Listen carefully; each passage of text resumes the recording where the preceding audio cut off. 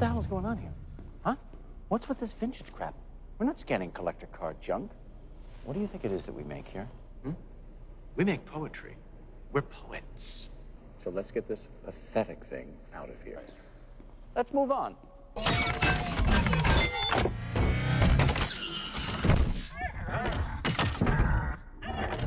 B, you gotta calm down right now. I'm perfectly calm, dude. You gotta breathe or just do whatever it is that you do. I'm calm. I'm calm. I'm not even touching it. Okay, I'm barely oh touching it. I'm barely touching it. Turn back into a car right now.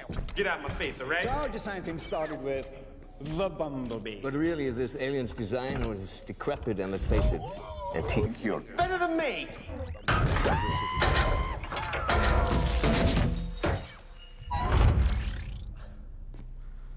What did you touch? Uh, I told you, homeboy, you can't touch this.